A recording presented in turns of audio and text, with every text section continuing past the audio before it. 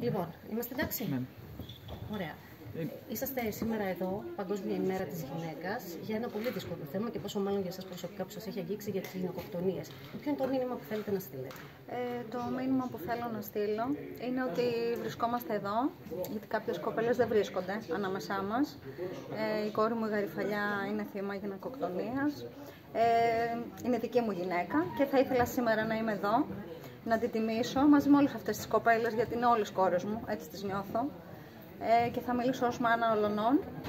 Ε, και το μήνυμα είναι ότι θέλω να σταματήσει όλο αυτό, να υπάρξει μια βούληση από την πολιτεία και την κοινωνία, ε, να προσπαθήσω να τους ευαισθητοποιήσω ε, και να τους πω να σηκωθούν από τις καρέκλες τους, να δούμε τι μπορούμε να κάνουμε, να μεγαλώσουμε πιο σωστά τα παιδιά μας, να βάλουμε στα σχολεία μας όχι μόνο τα μαθηματικά και τη γλώσσα και τη γραφή, να βάλουμε το μάθημα προς την ανθρώπινη ζωή, προς το σεβασμό, προς τη διαφορετικότητα του άλλου. Να σεβόμαστε τον άλλον που είναι διαφορετικός και να το βλέπουμε και ίδιο με εμάς.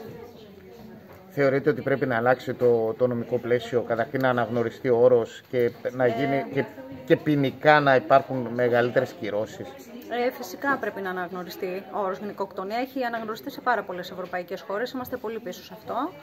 Ε, θεωρώ ότι πρέπει να, ε, το νομικό σύστημα να αλλάξει. Γενικά είναι ένα σύνθετο φαινόμενο. Δεν γίνεται σε μία μέρα. Πρέπει να υπάρξει βούληση και δουλειά από όλους. Από την κοινωνία, από την οικογένεια, από το σχολείο, από την πολιτεία να υπάρξει βούληση. Νόμοι υπάρχουν.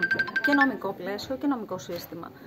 Δεν τηρούνται οι νόμοι αυτοί. Γιατί να μην τηρούνται; Δομές υπάρχουν για τις γυναίκες κακοποιημένες, για τις γυναίκες που υφίσταται βία. Γιατί δεν λειτουργούν όλα αυτά τα, τα, τα πράγματα μαζί, τα συστήματα. Πρόσφατα είχαμε μία